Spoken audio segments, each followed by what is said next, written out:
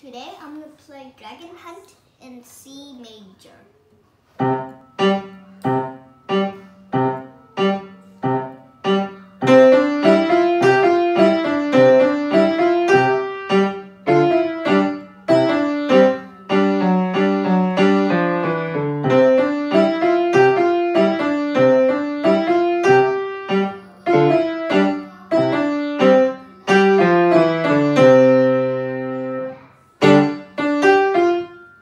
get it.